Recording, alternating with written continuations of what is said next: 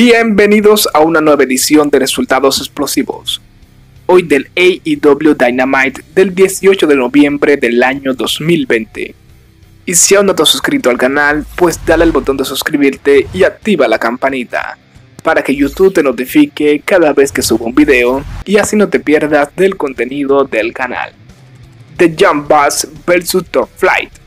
La lucha la inician dominando los chicos de Top Flight, pero los campeones logran revertir la situación rápidamente.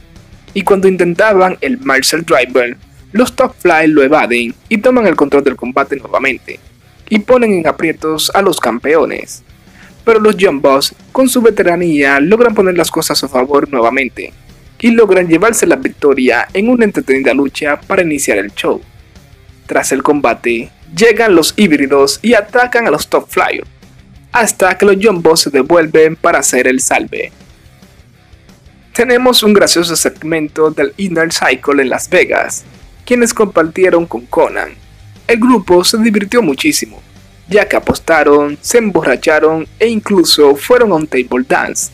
Toda una locura, como lo es Las Vegas. Muy buen segmento. Luego tuvimos una promo de John Mosley, quien dice estar preparado para cualquier contrincante, incluyendo Kenny Omega.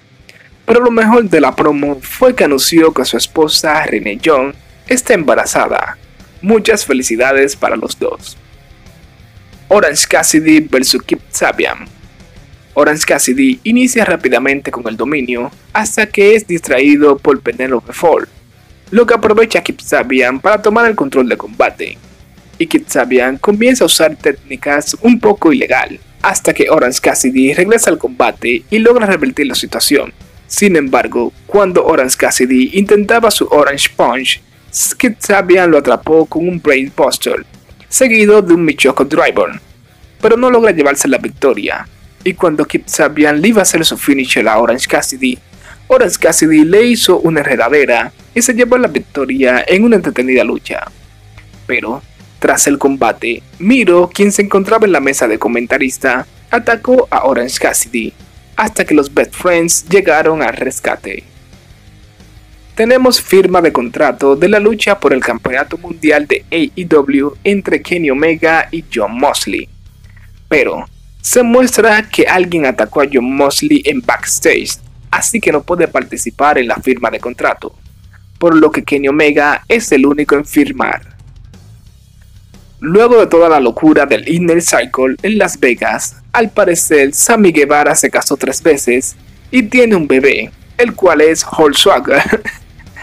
Este segmento fue una parodia de la película Hangover. Pac vs The Play. La semana pasada, el bastardo Pac hizo su regreso a AEW y hoy tenemos su regreso al ring. La lucha la inicia dominando Pac, quien se muestra bastante agresivo y sediento de sangre. Pero The Butcher lo distrae, por lo que The Blade toma el control del combate. Este comienza a atacar a Pac fuera del ring. No obstante, al regresar al ring, Pac retoma el control y comienza a castigar a The Blade, hasta que The Butcher vuelve a distraer a Pac, pero esta vez Pac logra deshacerse de Blade, y con su Black Arrow y su Brutal Assault, Pac se lleva la victoria vía rendición en una decente lucha. Tras el combate, Pac toma el micrófono y dedica una promo para Eddie Kingston. Entonces, The Butcher ataca a Pac por la espalda, pero llega Rey Fenix para ayudar a su amigo. Así que es atacado por Eddie Kingston, The Butcher y The Blade.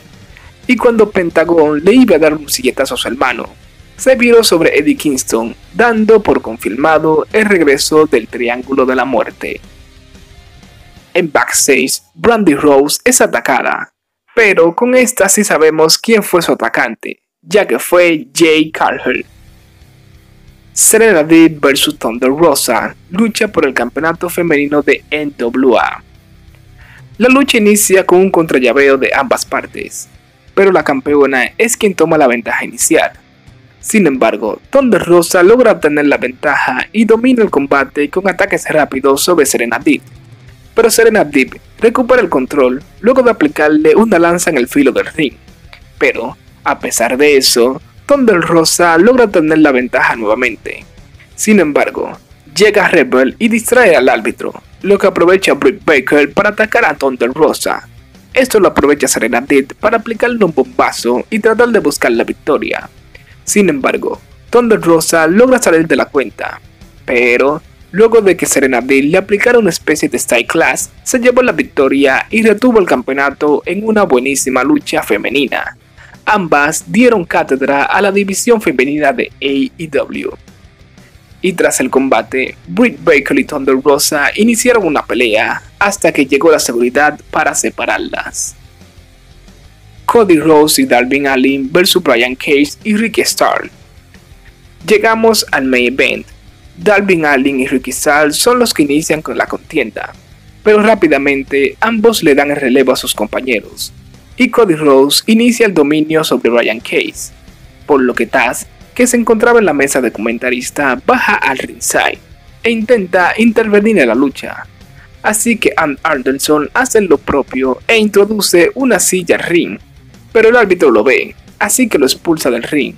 Esto distrae a Cody Rose, así que Brian Case aprovecha para tomar el control, pero Darwin Alley logra entrar y comienza con el dominio, y le da relevo nuevamente a Cody, quien le aplica un cruce de caminos a Ricky Starr pero Brian Case somete a Cody Rose y a Darwin Allin y finaliza aplicándole su finisher a Darwin Allin, para así llevarse la victoria en una entretenida lucha. Y el reciente campeón TNT se inaugura perdiendo, ya que le hicieron la cuenta a él y no a Cody Rose. Tras el combate, Brian Case y Ricky Starr atacan a Cody Rose y a Darwin Allin, pero llega Will Hobbs para hacer el salve. Sin embargo, Will Hobbs ataca a Cody Rose con el campeonato FTW. Así Will Hobbs hace su turn heel y se une al equipo Taz. Y así termina el show. Un buen show donde tuvimos una gran lucha femenina. Además, el regreso del Triángulo de la Muerte y ese turn heel sorpresa de Will Hobbs. También tuvimos el ataque misterioso sobre el campeón, lo que nos deja con la incógnita de saber quién fue, aunque creo que fue Lance Archer ¿Y ustedes? ¿Qué les pareció este show? Y lamentablemente, hasta aquí ha llegado este video. Recuerda darle al botón de suscribirte si no lo has hecho, darle like al video y seguirme en Twitter, Facebook e Instagram como WWE Explosive. Nos vemos en la próxima amigos.